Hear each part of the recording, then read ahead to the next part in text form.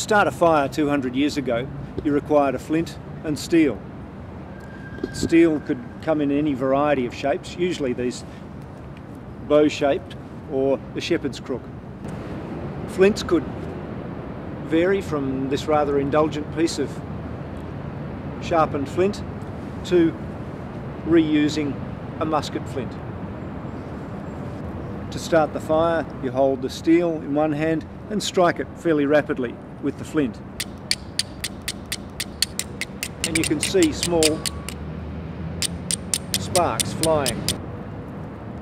Char cloth is black, blackened fabric, fabric that's been slowly cooked. It bursts into flames very, very quickly and enables you to um, make it take advantage of the, uh, of the struck flint and the sparks produced.